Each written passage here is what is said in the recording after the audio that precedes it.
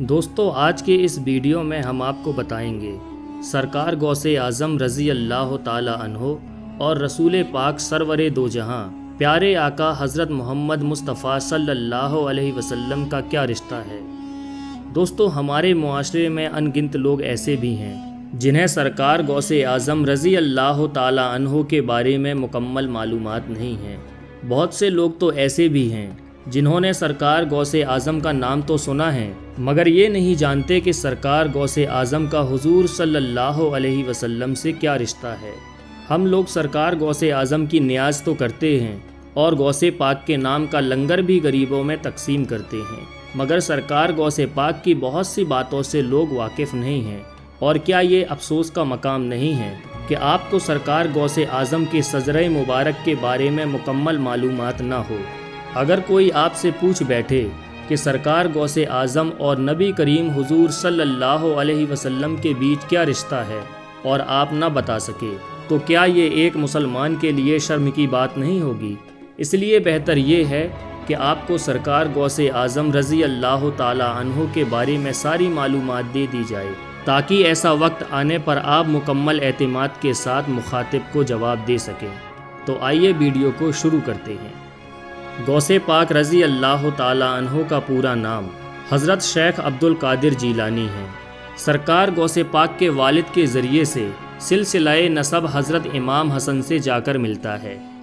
सरकार गौसे आज़म के वालिद का नाम सैयद अबू सालेह मूसा जंगी दोस्त है और इनके वालिद का नाम सैयद अब्दुल्लाह जीली है और इनके वालिद का नाम सैयद शाह मोहम्मद याहिया जाहिद है और इनके वालिद का नाम सैयद अबू मोहम्मद अबुल कासिम शमसुद्दीन ज़करिया है और इनके वालिद का नाम सैयद अबू मोहम्मद सिराजुद्दीन अबू दाऊद है और इनके वालिद का नाम सैयद मूसा सानी है और इनके वालिद का नाम सैयद अब्दुल्लाह सानी है और इनके वालिद का नाम सैयद मूसा जौन है और इनके वालिद का नाम सैयद अब्दुल्लाह महज है और इनके वालिद का नाम सैयद हसन मुसन्ना है।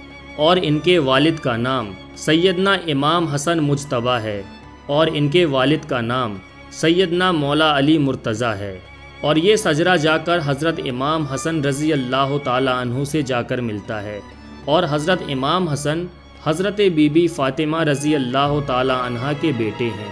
और हज़रत बीबी फ़ातिमा सरवर कायनात दो आलम के मालिक मुख्तार प्यारे आका नबी करीम हज़रत मोहम्मद मुस्तफ़ा सल्लल्लाहु अलैहि वसल्लम की बेटी हैं। इस तरह सरकार गौसे आज़म हुजूर सल्लल्लाहु अलैहि वसल्लम की औलाद से हुए। सरकार गौसे आज़म का सजर नसब माँ के ज़रिए से हज़रत इमाम हुसैन से जाकर मिलता है।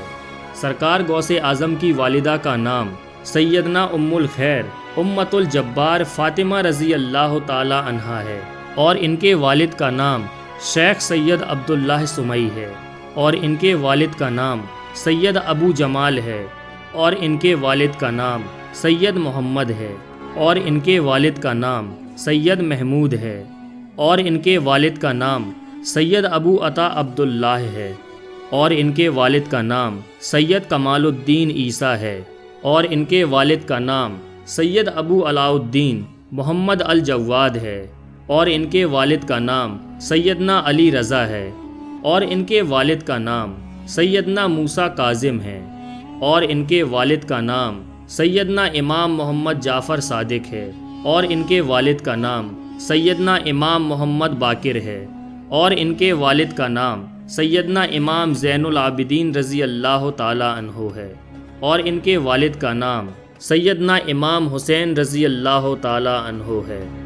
और हज़रत इमाम हुसैन, हज़रत बीबी फ़ातिमा रज़ी अल्लाह तहा के बेटे हैं और हज़रत बीबी फ़ातिमा, नबी करीम हज़रत मोहम्मद मुस्तफ़ा सल्लल्लाहु अलैहि की बेटी हैं। इस तरह से सरकार गौसे आज़म हसनी हुसैनी सैयद होने के साथ साथ हुजूर सल्लल्लाहु अलैहि वसल्लम की औलाद हुए। दोस्तों, ये था सजर नसब, सरकार गौसे आज़म रज़ी अल्लाह तहों का।